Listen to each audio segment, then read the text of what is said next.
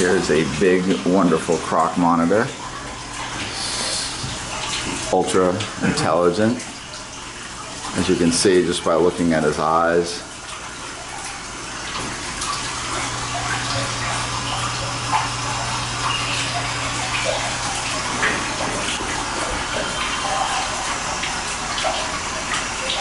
And one thing about keeping reptiles is we have so many different species that uh, people key into, and we have all sorts of options of different animals we get to work with.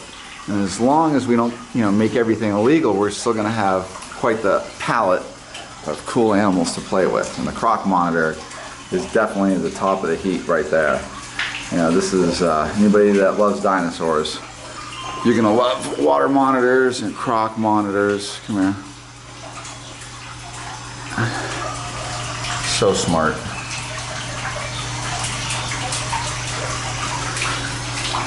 These guys are very arboreal. They got a big long prehensile tail.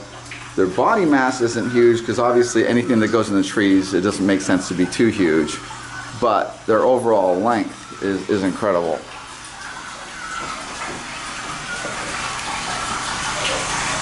See his tail.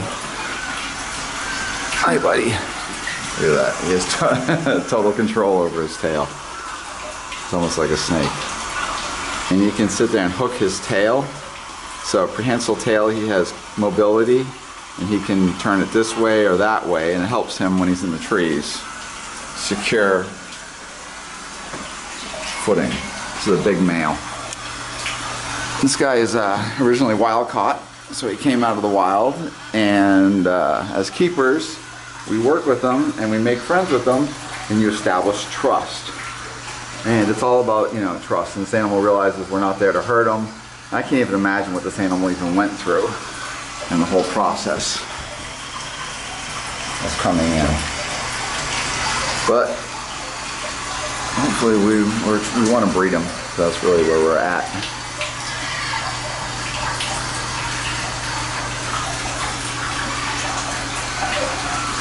Say goodbye.